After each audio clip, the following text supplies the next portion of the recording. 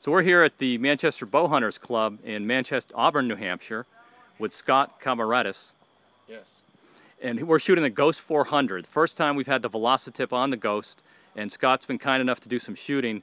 Um, let's go ahead and pull the arrow and see what this see what we got. Very good.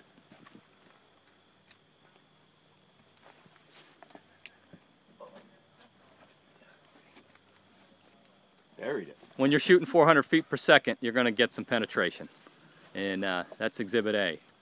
Thank you, Dave. So if you want to pull the tip off, we'll download the data. Neat product. Thanks, Scott. There you go. In fact, go ahead and plug just plug her on in, and uh, we'll download it and see what we got.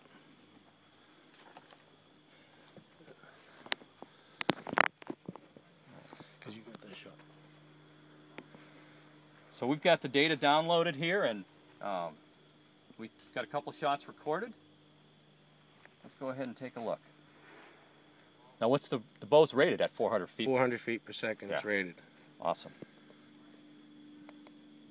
So we entered the arrow weight in order to get the data and the shot distance, and the, the ballistic tip records everything else.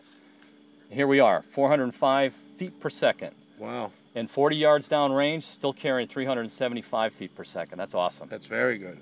We'll look at kinetic energy. Sure. What do you th- any guesses? 100? 126 at the target, 126 Wow. foot pounds at the target, 148 foot pounds at launch. Impressive. Use that for elephants. Got any plans for, for safari? Retained energy was 85.4%.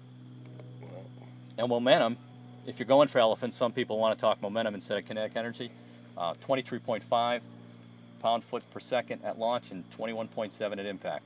Wow, that's amazing. Yeah, and um, another other good data. We've got a time of flight. The arrow was in the air for three tenths of a second in, over those 40 yards. Wow. It's awesome speed. Wow. Amazing. Scott, thank you. Thank you. Yeah, it was a pleasure. I love your product. And Ghost 400, that's kick butt. Thanks.